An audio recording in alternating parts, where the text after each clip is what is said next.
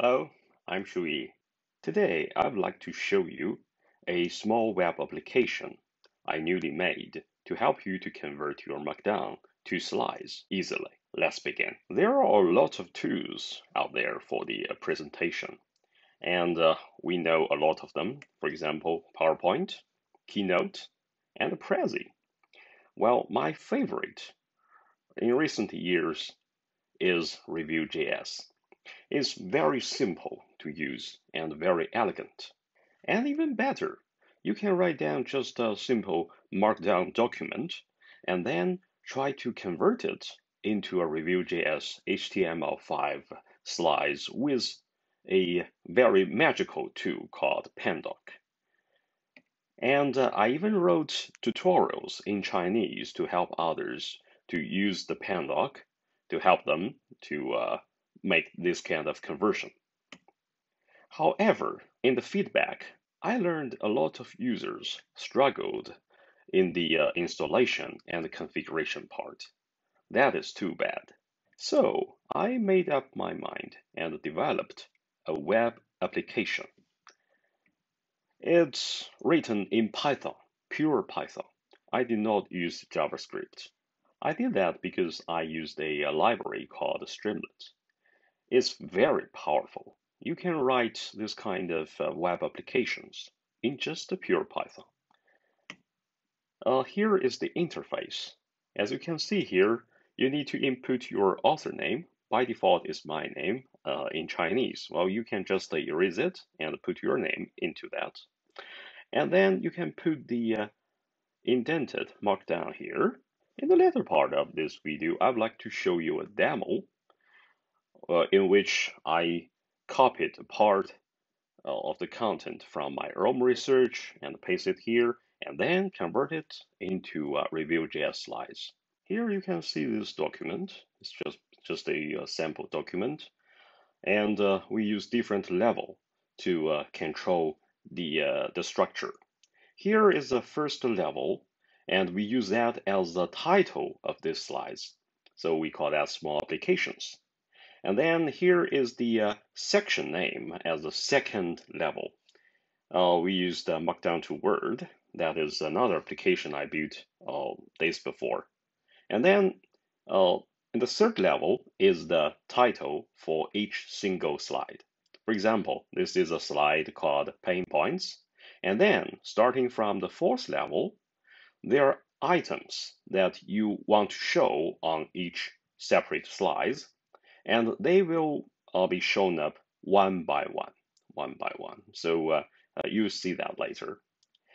And uh, here, as you can see, you can put a an image at the third level. That will make it a full screen image. And even better, you can put some animation, the GIFs in that.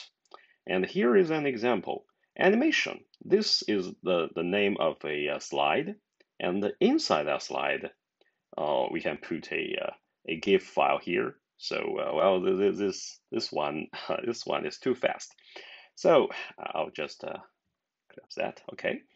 So as you can see, it's, it's a very uh, simple one, but it, it would be a very good small example to uh, try our application. So let's do that. Uh, we copy all the things from uh, this page here we paste all the content from the Roam research into this editor. This is Visual Studio Code. And you can see, oh, well, I, I think I'd better use uh, toggle word wrap. Okay, so as you can see here, we have got, uh, this is the links to the, uh, this to the image. And uh, here are the levels uh, when we copy it out, it will show up in uh, list format, first level, second level, and third level. Uh, you do not need to use Roam Research to use this web application because uh, you can just uh, open up an editor and put all the things inside it, and then copy it out and put that into our web application. Let's see. Uh, remove this uh, default author name and put something here. For example, I'll put just a Dr. Wang, and then we can use the paste. We can use the paste command to uh, uh, paste all the things uh, from the uh, Roam research. Now we can see it's identical to what we saw in the uh, Visual Studio editor. And then just hit this button, convert. Okay, here you can you can see it's running. And here you get the link. Just click on it and you can get the zip file. Here you can see the zip file in download folder and then you can double click on it and uh, it, it, it was extracted. And uh, let's open the folder. Here you can see something. Inside this folder, we have got assets uh, containing all the image files. And uh, here is reveal.js.